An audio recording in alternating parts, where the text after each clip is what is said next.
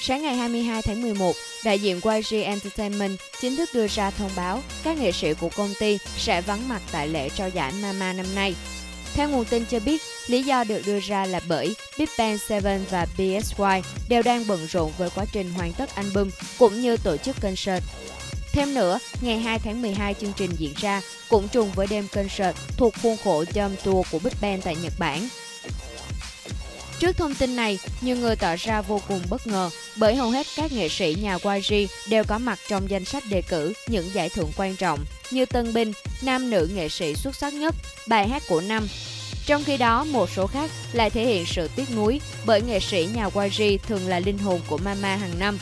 Việc họ vắng mặt trong danh sách tham dự và biểu diễn chắc chắn sẽ gây ra ảnh hưởng không nhỏ đến lễ trao giải năm nay. Ngoài ra, cư dân mạng cho rằng quyết định tẩy chay Mama là bởi YG đã biết trước kết quả các nghệ sĩ công ty không có giải. Blackpink được đánh giá là ứng cử viên sáng giá cho giải tân binh xuất sắc năm nay, nhưng Mnet có lẽ sẽ ưu tiên cho gà cưng IOI. Nhà đài này cũng được tung hô là thanh niên cứng khi đòi lại công bằng cho IOI bởi thành tích năm nay của nhóm hoàn toàn xứng đáng với giải thưởng tân binh xuất sắc. Trước đó, tại Melon Music Award 2016, Blackpink khi nhận giải thưởng tân binh bị chỉ trích là nhờ quyền lực thao túng của YG.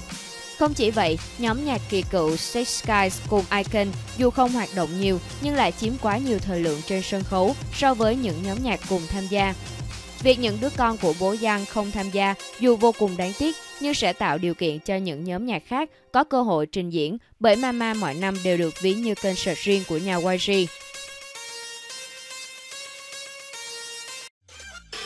Cảm ơn quý vị và các bạn đã quan tâm theo dõi. Nếu thích, hãy like và share. Và đừng quên bấm đăng ký để theo dõi thêm nhiều video hấp dẫn hơn của chúng tôi. Xin chào và hẹn gặp lại.